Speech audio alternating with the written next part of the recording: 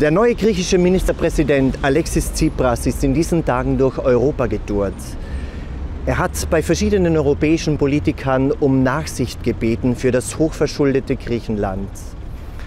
Wenn auch ein Schuldenschnitt wohl niemals in Frage kommt, so denke ich mir, wird es wohl nötig sein, dass man Griechenland einige von seinen Schulden erlässt.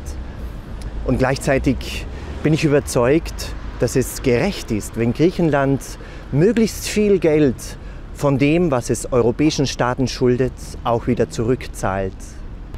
Dabei denke ich an meinen eigenen Schuldenberg.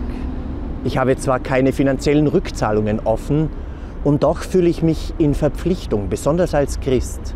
Zum Beispiel denke ich an den Menschen, denen ich meine Dankbarkeit schulde.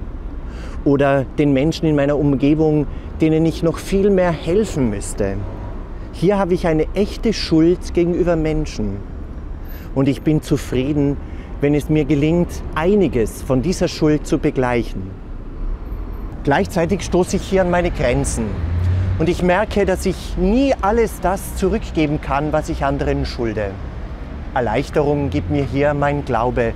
Wenn ich zum Beispiel dann beten kann, Herr, hilf mir, dass ich meine Grenzen überschreite. Und dort, wo ich es nicht schaffe, meine Schulden anderen zurückzuzahlen, dort schenkt mir einen Schuldenschnitt. Und ich denke da auch an das Bibelwort, glücklich ist der Mensch, dem der Herr die Schulden nachlässt.